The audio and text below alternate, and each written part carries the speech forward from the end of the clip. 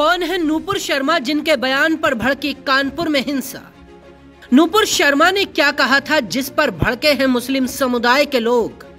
ABVP से शुरू किया था राजनीतिक सफ़र, केजरीवाल के खिलाफ लड़ा चुनाव। अब टीवी डिबेट में दिए एक बयान पर हो रहा है बवाल।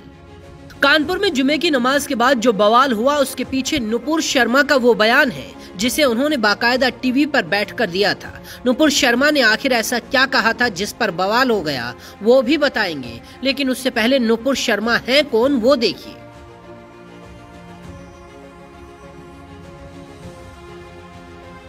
नूपुर शर्मा बीजेपी की राष्ट्रीय प्रवक्ता है।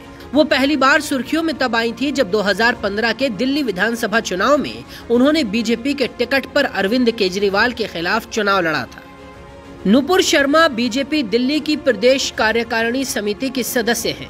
वो दिल्ली विश्वविद्यालय छात्र संघ की अध्यक्ष भी रह चुकी हैं। 2008 में एबीवीपी की ओर से छात्र संघ चुनाव जीतने वाली नूपुर एकमात्र उम्मीदवार थी 2010 में नूपुर छात्र राजनीति से निकलने के बाद बीजेपी के युवा मोर्चा में सक्रिय हुई। लंदन स्कूल ऑफ़ इकोनॉमिक्स से पढ़ाई करने वाली नूपुर पेशे से वकील भी हैं। इसके अलावा उन्होंने बर्लिन से भी पढ़ाई की है। नुपुर शर्मा बीजेपी की राष्ट्रीय प्रवक्ता हैं, इसीलिए वो न्यूज़ चैनलों में पार्टी का पक्ष रखने के लिए टीवी डिबेट में हिस्सा लेती रहती है। इसी सिलसिले में 27 मई को नुपुर शर्मा एक न्यूज़ चैनल की डिबेट में थी। बहस के दौरान उन्होंने आरोप लगाया कि कुछ लोग हिंदू आस्था का लगातार मज़ाक उड़ा रहे हैं। अगर यही है तो वो भी दूसरे धर्मों का मज़ाक उड़ा सकती हैं। नुपुर ने इसके आगे इस्लामी मान्यताओं का ज़िक्र किया। उन्होंने पैगंबर मोहम्मद साहब का भी नाम लिया था। उनकी टिप्पणी का ये वीडियो सोशल मीडिया पर वायरल हुआ। एक पक्ष के लोगों ने उनका विरोध शुरू कर दिया। नूपुर ने कहा था कि वीडियो क्लिप शेयर होते ही उन्हें रेप, मारने और काटने की धमकियाँ मिलने लगी।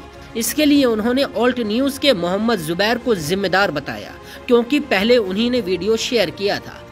नुपुर ने कहा था, मैंने पुलिस कमिश्नर और दिल्ली पुलिस को सूचना दे दी है।